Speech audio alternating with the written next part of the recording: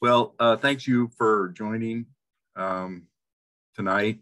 And uh, I will be talking about uh, underwater prehistoric archaeology. So this is not a very common uh, path for archaeologists. And I promise there not, will not be a single picture of a gold doubloon or a pirate ship. Um, we're talking about sites that in this case are all older than about 6,000 years ago.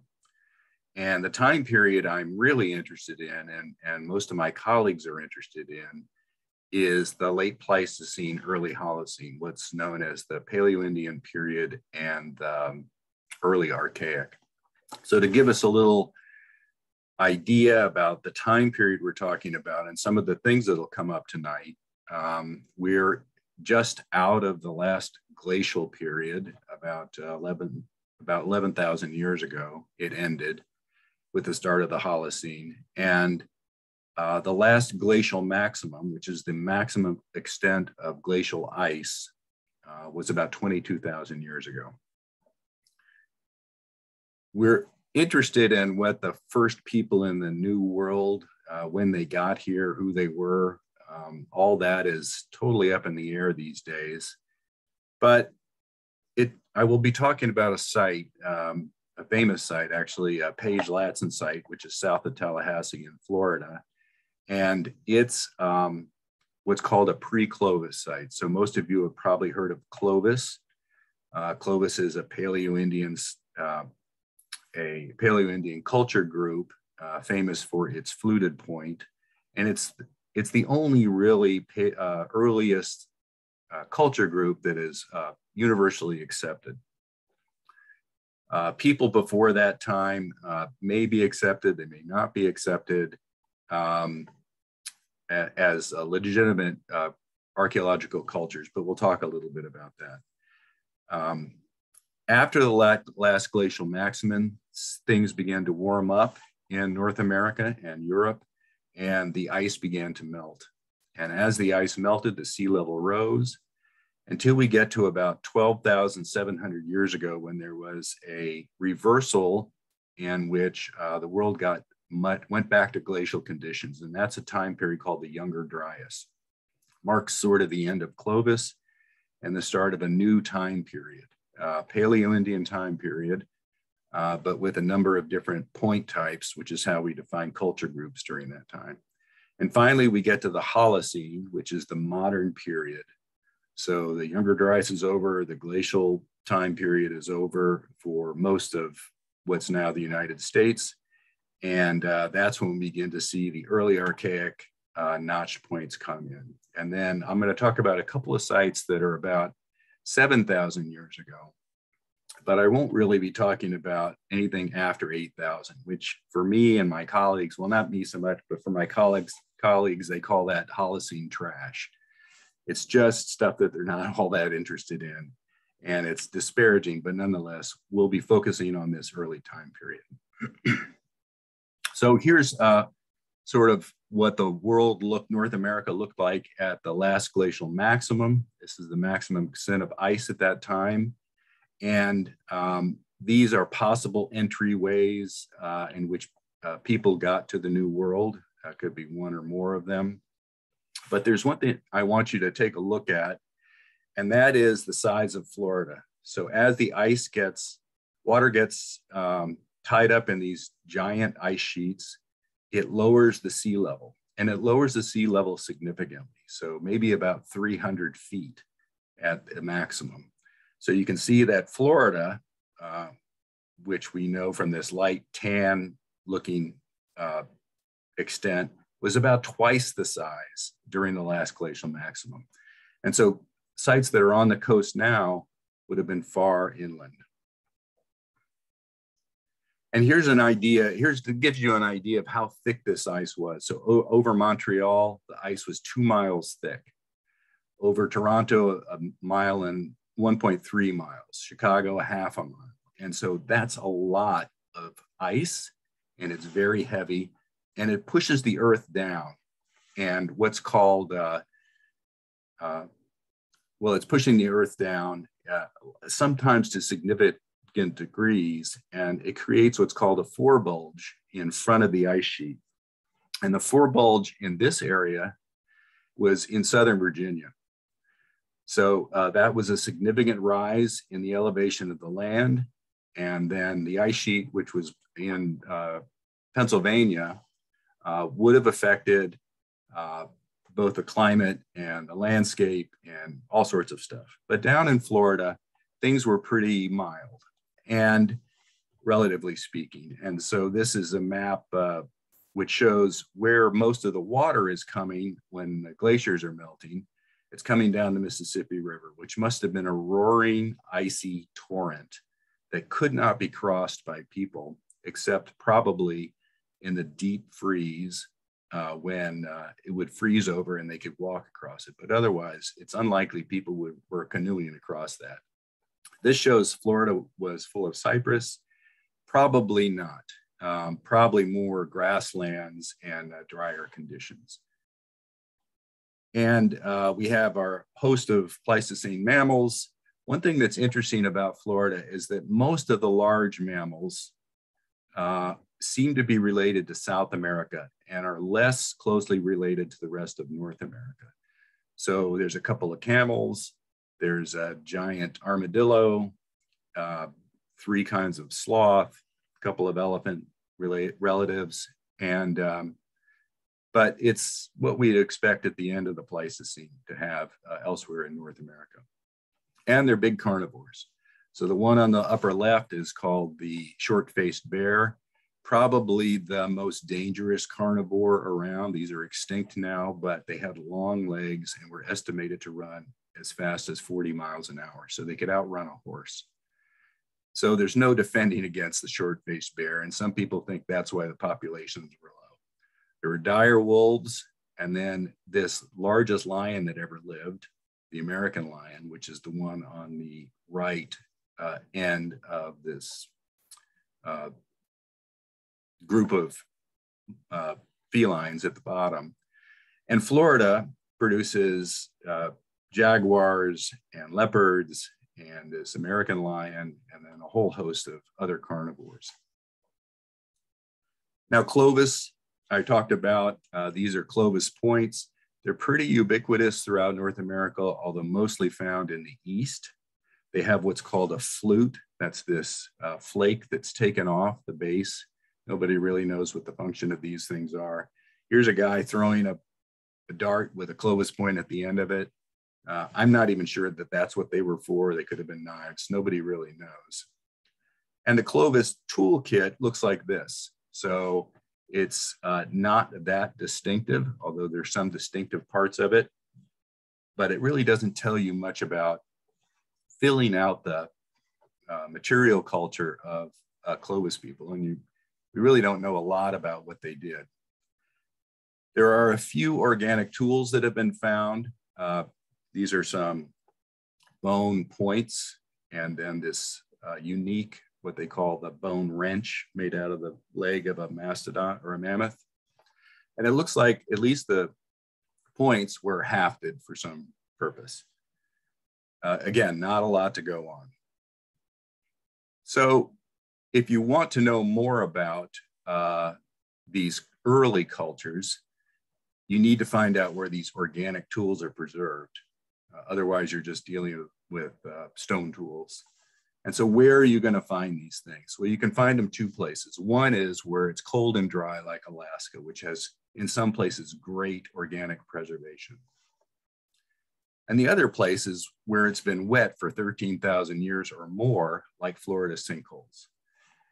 And uh, that's what I'm going to focus on tonight.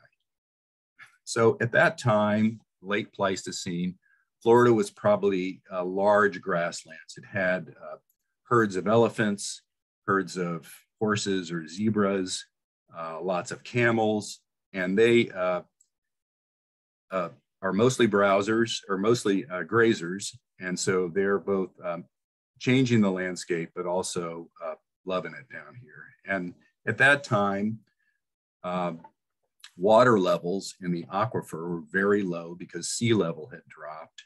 And so it was probably pretty dry. Um, and if you wanted to access water on a regular basis, which humans and animals must do, you usually were probably uh, finding them in these scattered sinkholes. So Florida, the base rock in Florida is uh, limestone. It's karstic, I mean, it dissolves and it uh, collapses. And uh, so this is a picture of a sinkhole, large sinkhole south of Tallahassee. And that's the level of the aquifer. So when the aquifer drops 30 feet, that water level is way, way down there. And this is an attractant to people and animals. and so here's a picture of the Santa Fe River on the left. Uh, this is in central Florida. There's lots of artifacts in it. Uh, and this is the picture on the right is the Santa Fe River during an extended drought. And that's what I envision the rivers in Florida now probably looked like. They were probably seasonally running, but not very often. And uh, Florida has a long history of uh, fossil collection. So a little bit about how I got started on this. I uh, grew up in the DC area. I remember standing in front of the big elephant at the Natural History Museum uh, when I was five or six and say, I'm going to be a paleontologist or I'm going to study human evolution. And uh, I did get an undergraduate degree in anthropology, but then I took a right turn and became an environmental lawyer uh, for the state of Florida, which I did for a couple of decades. And um, as that slowly sucked my soul away, I was looking for other uh, things to do. And one is uh, somebody said, well, there's a lot of fossils here. And so I got involved in fossil collection and uh, cataloging and worked with a museum in Florida with this stuff. And one day I found a piece of a human skull and I turned it in to the state archaeologist and I said, uh, can I volunteer on something? And he said, go, go down the hall and talk to this guy, Jim Dunbar. So I did. And uh, Jim had a, uh, a uh, fiberglass cast of a mastodon tibia, I think it was. And I was like, okay, this is my guy. And uh, I applied and I became a volunteer on the Page Ladson site, which we'll talk about. And I absolutely loved it. And I met Michael Faught there, who's another pioneer along with Jim in uh, underwater prehistoric archaeology. And I ended up going to Florida State University and getting my degree. so that, that's my tale of how I got into this. But these guys, well, they were dredging fossils out of Wakulla Springs, which is one of the largest, if not the largest, uh, class one freshwater springs in the world. It just pumps out millions of gallons an hour. And it, at the, at the end of the Pleistocene, it was dry. And so animals would walk down to the bottom to find water and they would die there, they'd be killed there by humans. And uh, people went down and uh, collected all this, all these artifacts and these uh, skeletal remains.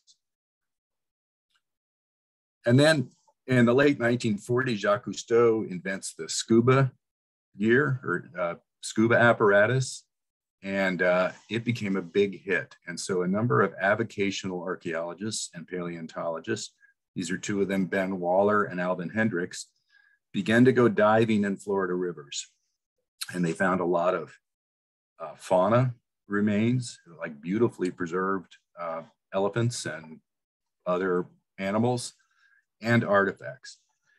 and these guys were great because they kept uh, detailed notes about where they found stuff.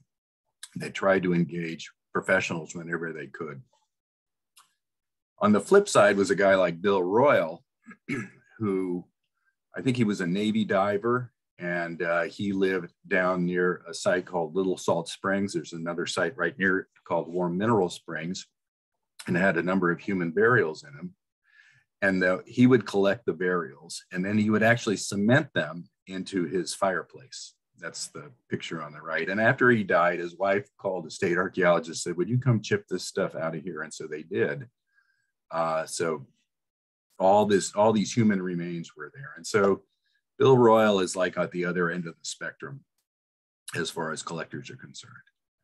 But people like uh, uh, Hendricks and Waller were trying to get these professionals involved, and the professionals were just being really snooty about the whole thing. They didn't want to deal with these guys, and and they kept saying, "No, you got to come out with it. Come out with this." And so finally, they hooked up with a young paleontologist. Uh, this is him, Dave Webb, in the '60s at the University of Florida.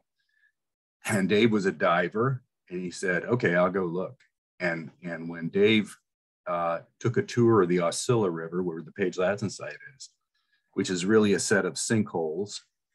He said there was a complete elephant skeleton at the bottom of every single one of them. And so he was totally hooked, and suddenly they had professional um, cred to go forward, and uh, they were off and running. Dave, can I interrupt for just a moment? Yes, There's a, sure. a question in the chat about what you were just talking about. Can you comment on the, the ongoing controversy about museums keeping human remains? Uh, I can. Uh, I, I actually teach an ethics class at George Washington where we talk about this issue. Um, I have a I have a personal opinion about it, and that is that if you can establish a connection you as the person who's making a claim in this in most cases in north america it's a it's a tribe american indian tribe. If you can establish a cultural connection to that then it should be returned. But uh, some of the remains which i'll talk about later are 8000 years old. And i think my personal opinion is that's difficult to make that claim because I think about my heritage in England and Northern Germany, uh, what my people were doing 8,000 years ago, it's hard to say. And that's not really necessarily a good uh, analog for that position, but I think there is uh, scientific value and that there's also um, people value their ancestors and it's i don't know that's not really an answer but it's not an easy thing to answer Yeah, totally. No, thank you. That helps. but i'm happy to talk about it uh, in more detail later so in uh, the 1960s uh, ben waller introduced uh, uh, archaeologist at the university of florida charles hoffman who was also a diver to this site in the Silver River. And this was called the uh, Guest Mammoth site. It was named after a guy named Guest who found it. And you can see that this picture that was taken, that the water is crystal clear and uh, there are uh, mastodon bones lying all over the place here.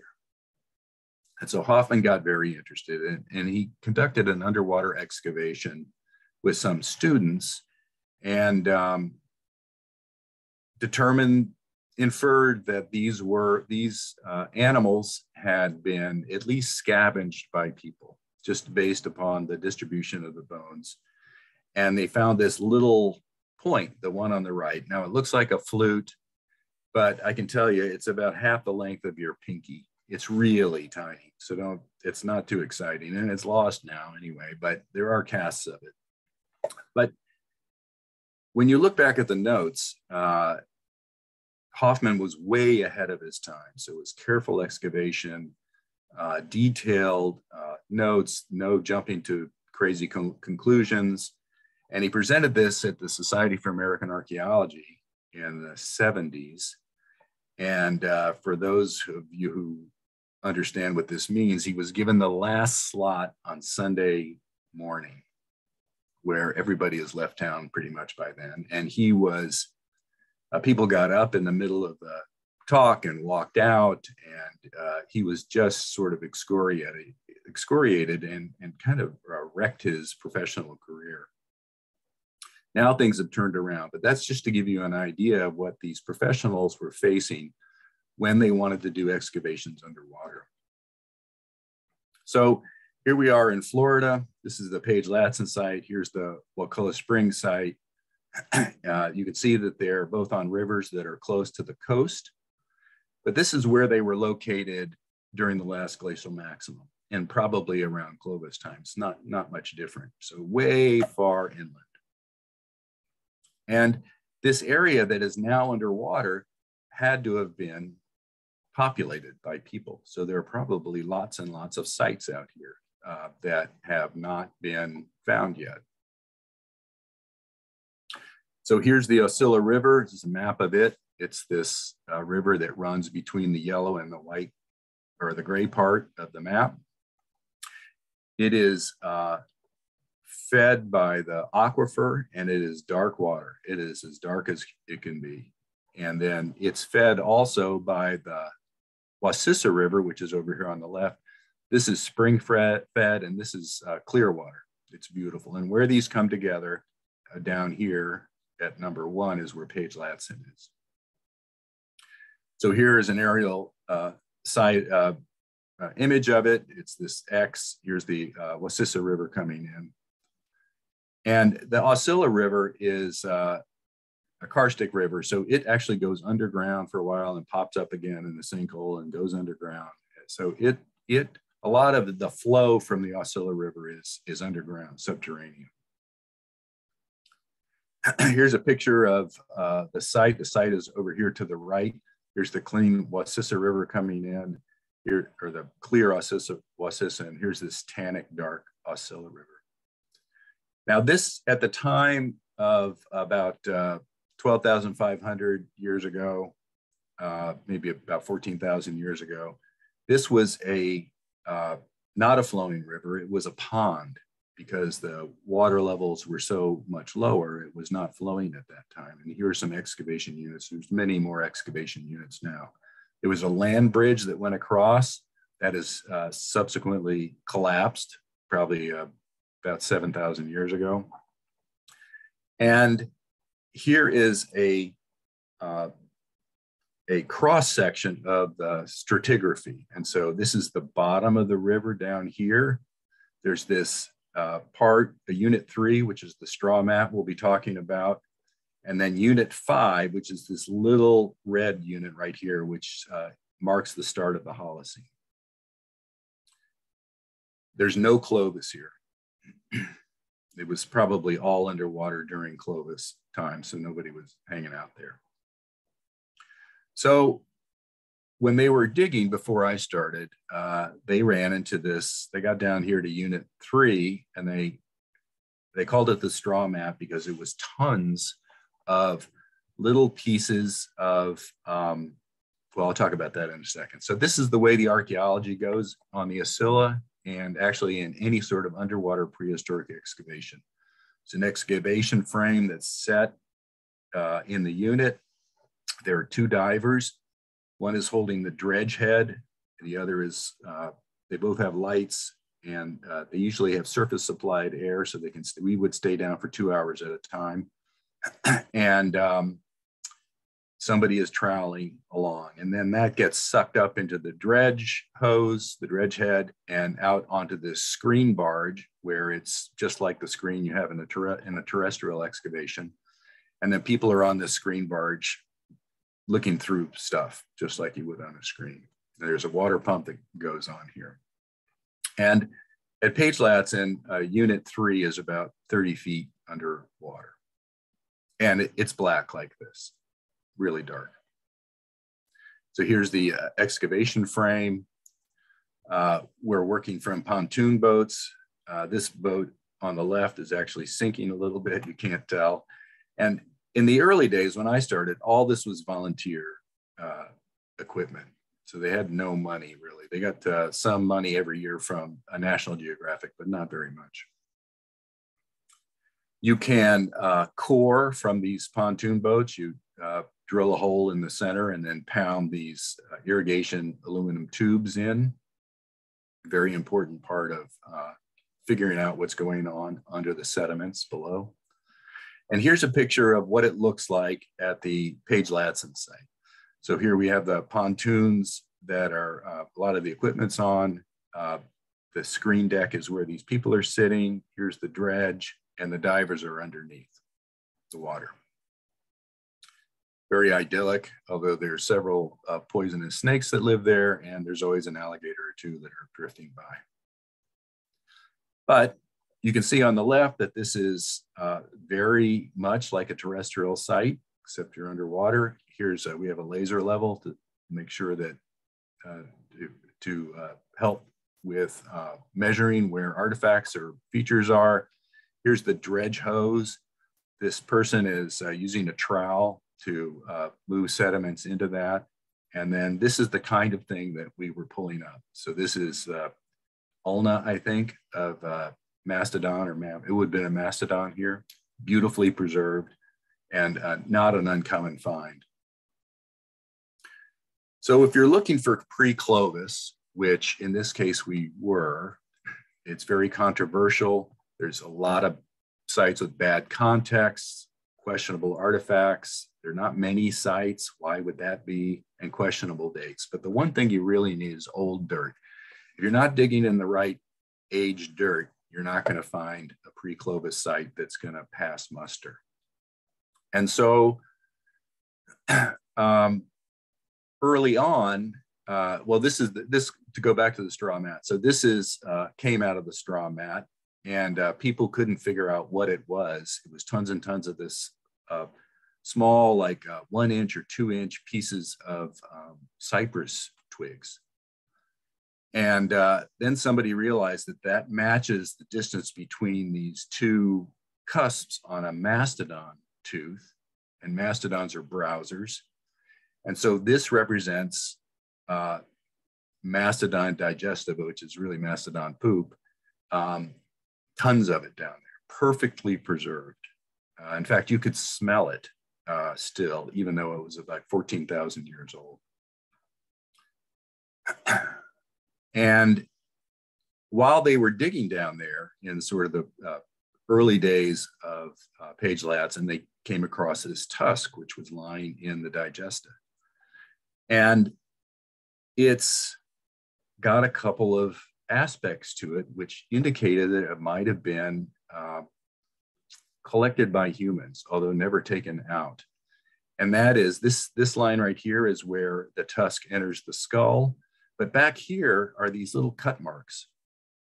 And this is actually the way uh, tusks are taken out of elephants in Africa. They, they break this thin section of the, of the skull off, and then they cut the tendons here, and then they slip the, slip the tusk out.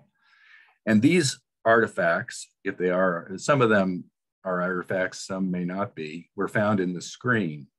So not found in situ, uh, but nonetheless coming up on the screen. And so the people that ran the site were claiming it was pre-Clovis, but it was kind of uh, iffy. And actually, me working there, I was like, no, nah, I'm not so sure about this. It's, it's, not airtight. Now, this is a picture of the cut marks, uh, the supposed cut marks. They look like cut marks, um, but still equivocal. So that part of the project closed down about 2002. And in 2012, Mike Waters with the Center for the First Americans at Texas A&M uh, sponsored another excavation there. So they reopened the old excavations, and it, this was a truly a professional operation. So before it was like ten thousand dollars a year, now it's hundred thousand dollars a year, and it was run by Jessi Halligan, one of his students, and then be, she became a professor at uh, Florida State, running their underwater program. And since that time, uh, there have been a number of uh, excavations uh, sponsored by Texas A&M, and then uh, Jessi runs a field school here every summer. So uh, there's ongoing excavations all the time. And in this case, they found unequivocal evidence of early humans.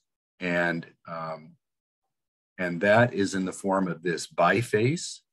It's not diagnostic but it's clearly an artifact and it was excavated in the straw mat. This little guy I pulled personally out of the wall of the excavation. It's clearly an artifact and did not drift in. And so suddenly there were lots of artifacts which showed that it's clearly a uh, pre-Clovis age site. And you can see that Waters paid for a lot of radiocarbon dates and, and it's uh, not a mixed up sediment. Um, so it satisfies a number of these. Is it a pre-Clovis site? And I became convinced. Further up the column, in that thin red strata I was talking about, there's something called the Bolen surface. And in that surface, which dates to about 11,500 to 11,000, looks like it was exposed for at least 500 years, there were wooden stakes that were driven into the ground, still there. This is uh, one version of the Bolen point that was found there. Um, and here are some of the other Bolen points. Here's the stake again. There's another carved uh, hickory stake, bone pins. And so lots of organic preservation. this uh, antler with the tines cut off was found. So uh, clear evidence that people are, you know, using these organic materials. And then another thing that happens in the Aucilla is great fossil preservation. It also has great ivory tool preservation. So these, these are uh, three views of the same ivory shaft. Uh, this is probably where it was hafted, where it's scarred here. Um, it would take a lot of time to make these out of ivory, but there are lots and lots of them. In fact, there's more ivory shafts came out of this area than anywhere in the newer new world and, and maybe close to anywhere in the world. So I think some places in Europe and Asia have a lot also. So suddenly, uh, this is looking like a great place to do early people archaeology. This, uh, this is in a private collection, but it's a ivory barbed point. It's a unique one. These things, there's about three or four of these that have been found. These are called daggers, but nobody really knows what they are. They all have drill holes in the uh, non-working end, and they're made from horses or camel legs, leg bones. It's a number of other tools that have been found that are also made from Pleistocene mammals. These are uh, fish hooks made from horse toe bones or astragalus. Um, and Page Ladson is not the only site in the area. So this is a couple of miles up the Wacissa River, this Ryan Harley site. And these are middle Paleolithic. So these are about a thousand years younger um, than Clovis and uh, same sort of setup, but here you're looking at fresh water and only two feet deep. It was a great place to dig. I really enjoyed it. so people are excited about this and uh, Michael Faught and Jim Dunbar thought, well, we should go offshore. So the Aucilla River, the Page Ladson site is just a few miles, maybe uh, 10 miles from the coastline. But what they did is they would track out these paleo channels. This is in the Gulf of Mexico. Uh, where the paleo channels were, they were still apparent, and then would go out and talk to people who scalloped or fishermen or look at the uh, rock snags on the, on the uh, navigation charts. And they would go look at those places. And sure enough, there were uh, sites all over in this shallow water. And uh, here's some uh, Pleistocene fauna and artifacts. And again, it's the same sort of setup that we saw on the in the Aucilla. And these are all, this is the Aucilla River that's up here in the upper right. These are all sites that have been documented and recorded uh, prehistoric sites. And I think the youngest is about 6,000 years old.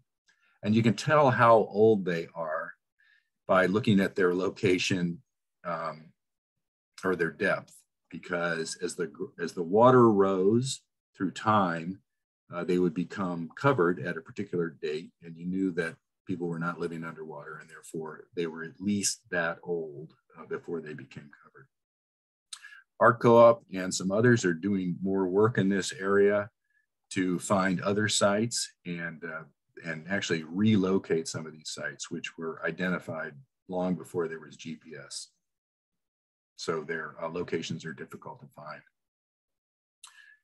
find. now I'm going to go I'm going to jump ahead in time to a site called Windover. And it's just another example of uh, the amazing organic um, preservation in Florida um, due to its wet nature at this time. So early on in, in the Aucilla, it's wet, but it's not mucky. This is more a, a pond. It's about seven to 8,000 years old. And it's a big burial pond. It was found by a developer who luckily called the archaeologists, set up a big operation here, and they excavated 164 skeletons. There are more out there that they didn't touch. These were so well preserved. This is brain material that was preserved inside these skulls. You can see that the skin and flesh is all gone, but the skeletons have not really moved much since they were put in the ground. There's organic artifacts. So this is an addle, handle. There's a bone pin through the, uh, the along this skull. There were stomach contents, so you could see what people are eating and, and really get an idea of where they were traveling around in the area that long ago. And this is uh, the way they seem to have been buried on their side, covered in fabric, covered over with sticks, weighted down by logs, and then pinned down with these um, other sticks that would hold people in place. And because of the distribution in this pond, it looks like these were family members clan groups. You know, there was separation that way. And they were put in this pond within 48 hours of death. So somebody died, and wherever they were, they were hurried over and, and interred in this way. Pretty fascinating. Now, these uh, burials have been found throughout Florida, but Windover is the biggest one so far on land and uh, the one that's been excavated. Right now, there's another one that's been found off the coast of Venice Beach. That's uh, this location right here. It's, I don't know, it's about half a mile off the shore, I think. And it has way more burials, estimated burials, number of burials than Windover. So at that time, about 7,000 years ago, this would have been dry, it would have been a pond, sea level would have been lower. and um, right now, the archaeologists are trying to figure out what to do. They're not going to excavate them all. They're, I don't know. They're, they'll excavate some, I think, but by and large, they're going to leave them in place and then try to preserve them. It was reported by a diver, private diver or avocational diver, who was unsure whether he had a coconut or a human skull. That's the story. And anyway, the archaeologist then jumped on it. And this is a picture of some of the excavation going on. So again, beautifully preserved wood that's 7,000 years old. Um, there's apparently uh, some uh, skeletal remains that seem to have uh, shell necklaces and uh, other shell adornments. Um, so we'll see how all that plays out. So what does the future hold? so our co-op has been uh, working in the Gulf, as I said, but we're also doing, uh, looking for other sites that might preserve these uh, organic remains of early people. And so in my dissertation work, I uh, was interested in artifact shapes, Paleo-Indian artifact shapes, and, to, and I wanted to get a large data set. So I had to uh, work with a lot of collectors. And um, one of these collectors is a guy named Delwood Nelson. In this part of the state, this green area, has never had never really had any sort of uh, Paleo-Indian or early archaic uh, signature. Like there weren't very many artifacts. And uh, this Lake George, which is the second largest lake in Florida, is really just a wide part in the St. Johns River. So the St. Johns runs from about Orlando up to Jacksonville and empties out. It's a very slow moving, shallow river by and large. And Lake George is eight miles across and about 20 miles long. And so uh, Delwood told us where the site was, and he had 44 of these points, these Suwannee points. So these are post Clovis in age, probably another, at least that many with other collections making it the largest Paleo-Indian site in Florida. And the nice thing about it, although this site was totally blitzed by collectors, there was nothing left when we went back to look. the nice thing about Lake George is that it's uh, really dark and tannic. uh, and people don't really dive there.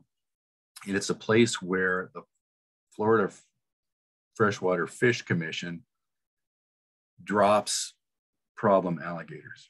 So if you've got a big problem alligator in your backyard, they'll capture it and usually release it in Lake George. And so it's full of alligators. And when I met Delwood, he proudly showed me where he'd been bitten across the thigh by an alligator. There was two rows of teeth marks there. So the nice thing about that for archaeologists is it keeps the collectors out. so we used, uh, in our first grant, we used something called a sub-bottom profiler. And uh, that's this device down here. This is called the towfish. and it's a device that sends out sound waves, sound signals of certain frequencies that then hit the bottom and go back up to a speaker, uh, or not a speaker, but a hydrophone or a microphone. And, uh, and then based upon uh, the speed of sound in water and, uh, and it will, and the analysis of the acoustic signal, you can get an idea of what the surface is like, but also what's under the surface. So it will, uh, some of the sound will penetrate the surface and then bounce off the next layer and so on. It's almost always used for geological purposes. Um, and a tiny, tiny fraction of it is used by archaeologists. And this is what it's like to run it. So you drive your boat very slowly and somebody, that's me, looks at the monitor to see what's going on. But this is what you end up with. And so Lake George is uh, very boring on the surface. It's all about nine to 12 feet deep, flat as can be. The only thing you really see are lost crab traps and some, you know, that's about it. Sometimes a sunken boat, it's a John boat. But under the surface, there's all sorts of features. And uh, I don't know if you can see this very well, but these are paleo channels, uh, there'd be a rise here. Um, there's a lots of stuff going on here. These are uh, what are called uh, multiples. They're not real. They're just multiples of what's going on on the surface. So not really any features, but there are things that are buried there. And so it's kind of interesting. The problem is it looks interesting, but you don't know whether this is 5,000 years ago or 105,000 years ago. And the only way to do that is to uh, take some cores. So this is the site that Delwood showed me, this uh, uh, green um, penta, pentagram, or not pentagram, but five-sided figure. And, uh, and then we ran our sub-bottom tracks, uh, these long tracks over the, this area back and forth to see what we might find near the site, see if there was another site there. We also went across the lake in, in various areas too. And the only way you can really see what's going on, so this is, uh, this is what we call Thor's thumb for inside joke reasons. And uh, this is coming up on Thor's thumb. And so there is, there are uh, geological features under the surface. This is the surface. And the only way to tell what's going on is to put a core down, pull it out like this one, and then date certain parts of the core where there's datable material and then see what's going, see what you got. And so for this, so feature 220, this looked interesting. It was a hump, not really a natural phenomenon by any means. And when we uh, put the core down, we found this area of crushed shell. so is that anthropomorphic or is it fish? I mean, is it uh, birds eating shells? Both are possible. But it's, uh, we know that it dates about 16,500 years ago. So anyway, it, it's worth exploring more. And so that's uh, really sort of what you're doing. You're, you're looking at the subsurface and you're driving cores and then you're analyzing the cores. Very slow process. So we took uh, several cores during that field season uh, and dated them. And uh, at the bottom, some were 46,000 years old, like way old. and others were 4,000 years old, and then times in between. but we did have several um, strata that dated about the Page Ladson time period. And so if people were at Page Ladson, they should have been elsewhere in Florida. And so we got interested in this. Then you take these cores, you map them onto your sub-bottom profile and then tie the dates together and then you can date these layers. And so this green is about 4,000 years ago. Uh, the blue is about 15,000 years ago and so on. well, it turns out, unbeknownst to everybody, that these sub-bottom profilers, which send out these chirp signals, so it's a, it's a range of signals between 4 and 24 kilohertz, um, and are used to reflect uh, sound back and then analyze the sound, also can resonate sound. So the difference between reflection and resonance is that if I yell at the wall, the echo comes back, and that's a reflection of the sound. But the resonance is like the is like the uh, champagne glass, where I sing the right note, and the champagne glass vibrates. These are two different reactions from the sound, and it turns out that within this four to 24 range, we can resonate chipstone artifacts. So these chipstone artifacts are resonating like champagne glasses, and they have a different acoustical signature than the reflection signature. And so here's a couple of uh, blades and blade-like flakes, and you can see that um, when they are hit by the right resonance, they there's a peak sound that's coming back. Now, the companies, they don't like that it's noise to them. And so they do whatever they can in their algorithms, in their analytical algorithms to suppress that, keep it, because it just gets in the way. But nonetheless, what these resonances do is they appear, and this is not fully understood yet, they appear in the water column as a feature. So there's nothing in the water column that is reflecting this, uh, this uh, signature. This seems to be where the resonances end up manifesting themselves. And they and they come in different flavors. So this is a these are different sub bottom types and different algorithms that are used. So this is this is where this is early on. This was discovered in uh, denmark and they call them haystacks uh, this is what we see with our device well similar to this but this would be another version of it and then this is back on Thor's thumb. When we looked back at the images of all the sub-bottom work we had done, we found haystacks. And so now we were pretty sure that, in fact, there were lithic artifacts there. Because the chances of digging a lithic, hitting a lithic artifact in a core are near zero. But now we had a way to sort of look through the surface to see whether or not there were stone tools. And this is like revolutionary for us because suddenly you can see that instead of sending a diver down 300 feet to the Clovis shoreline and looking around, which is the definition of dangerous and crazy, uh, we could just run the sub-bottom profiler back and forth over this for a week and then look at the data and see what we find. So this would be an area that we're interested in exploring this at the mouth of the Chesapeake would be another area we'd be interested in exploring. In fact, this will work in freshwater and in saltwater. So to switch to Maryland and how this might be helpful, this is a picture of Darrin Lowery. Some of you may know him. He lives in Michigan now, but he's been doing a lot of work along the Chesapeake and has discovered some what seem to be very early sites. Uh, they, he has collected stone tools that have washed in the water and excavated them out of the profiles. And these should be great resonators. They're the right size, they're the right material, they're chip stone and not naturally fractured. It turns out naturally fractured stone tools don't resonate. It's these hitting it with a hard hammer and somehow creates the conditions within the rock, the stresses within the rock that allows them to resonate.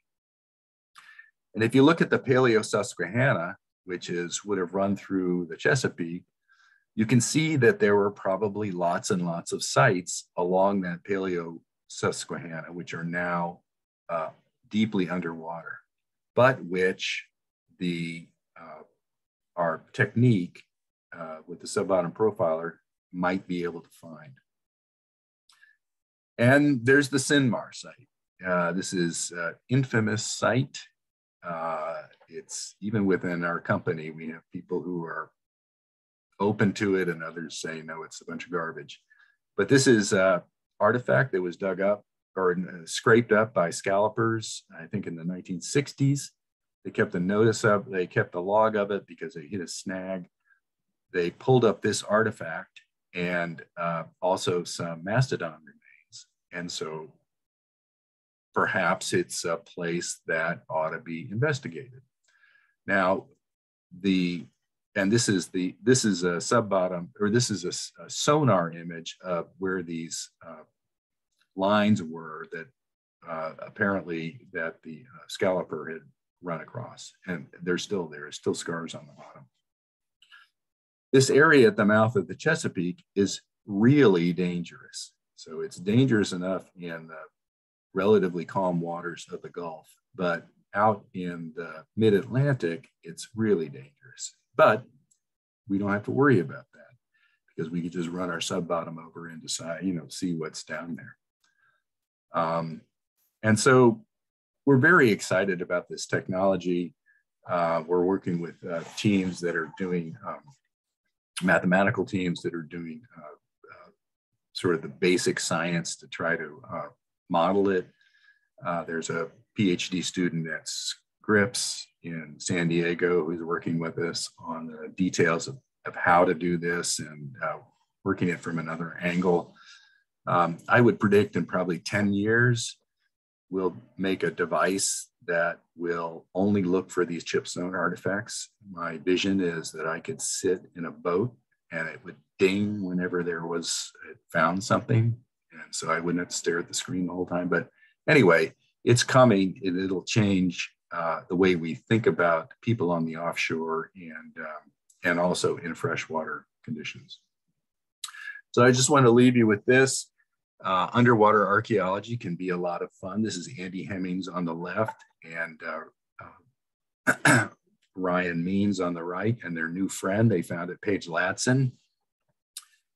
And, uh, but this can also happen. So this is Lake George after a stormy night. This is where we lost the green boat for good. We had to put that one to death. This is our pontoon boat, our research vessel. That is not our dock.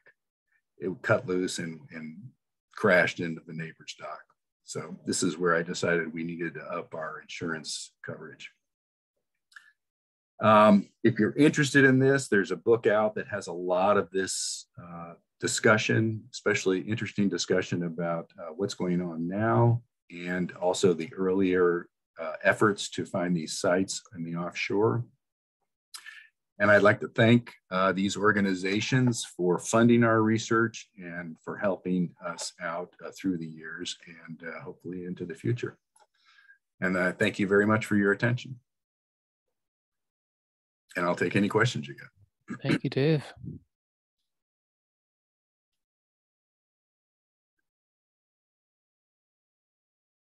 Going back through the chat, I think there were a question, a few questions, but I feel like they've been addressed. Um, there were some questions about the function of some of the artifacts that you showed. One was a wrench, and then there was a shaft. Um, generally, what do we know about what these artifacts were used for? The, I mean, you mentioned some were fish hooks, but can you just kind of give us a brief overview? Yes. So the wrench, uh, they call it a wrench. I don't know how it ended up with that name because it I guess it looks like a crescent wrench of some sort, but nobody knows what the function of that is. There's only one of them that's been found. It was, I think it was found in Arizona, maybe at Blackwater Draw. Uh, some think it was used as a straightener, uh, like a shaft straightener that you steam the shaft and then pull it through that.